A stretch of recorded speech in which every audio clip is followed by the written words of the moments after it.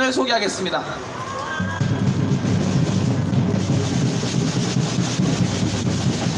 안녕하세요.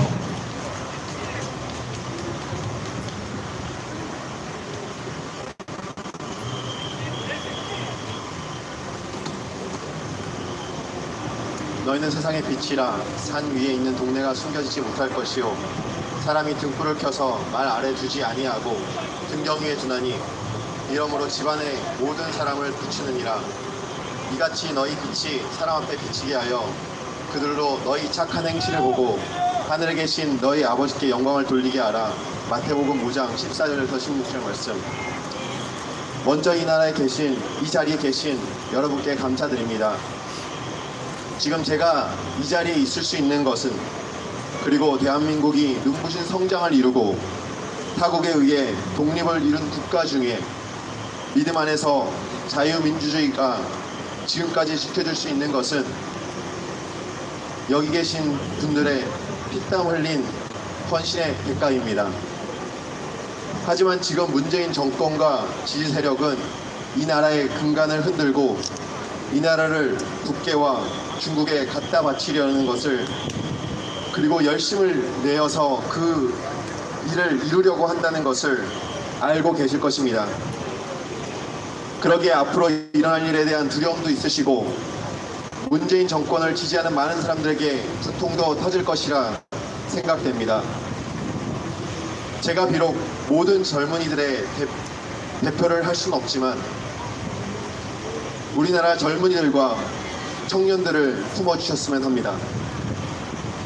우리나라의 젊은이들을 분명한 것은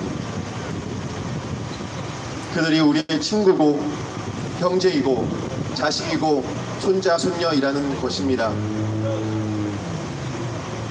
그들이 비록 알지 못하여 낮은 곳으로 가고 있지만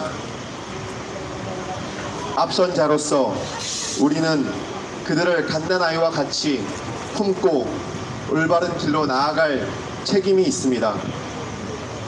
앞서나는 성경 구절은 로널드 레이건 미 전 대통령이 미국이 나갈 방향이라며 좋아했던 성경 구절입니다.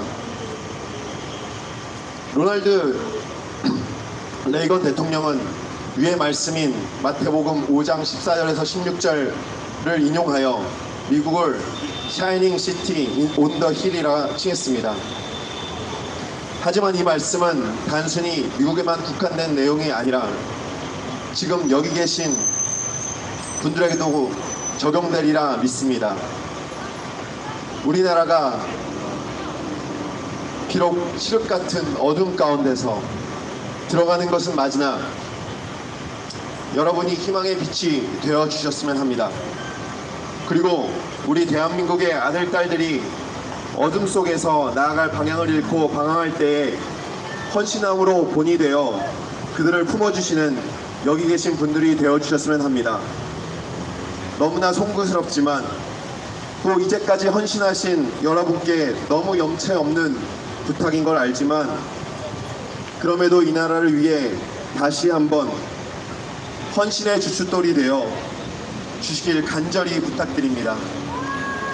저희 젊은이들 또한 여기 계신 분들의 헌신과 노고를 기억하고 지켜나가도록 하겠습니다. 감사합니다. 화이팅!